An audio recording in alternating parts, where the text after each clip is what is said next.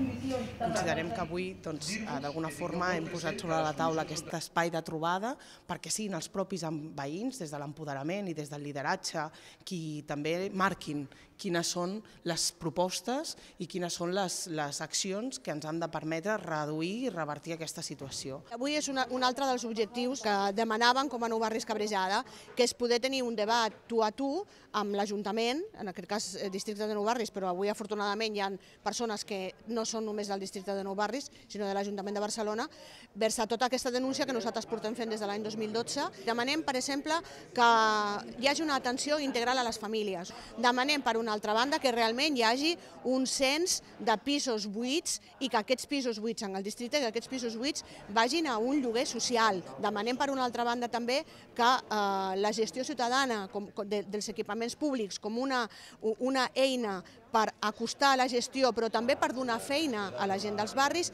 sigui una realitat completa. Per nosaltres és una oportunitat de millorar no? i treballar conjuntament des d'aquesta complicitat en quines són les polítiques estratègiques de, pels propers quatre anys, en termes de, des, de reducció de la pobresa i sobretot de garantia de drets socials. No? I per tant tirem endavant. Eso es. ¿Qué volia dir? De la base que... Se trata es de que encajen muy bien las propuestas que las entidades han ido reflexionando a lo largo de dos años se vea cómo se concreta mucho más y habrá una próxima jornada y una próxima derivación de todos esos trabajos para que tengan materialización.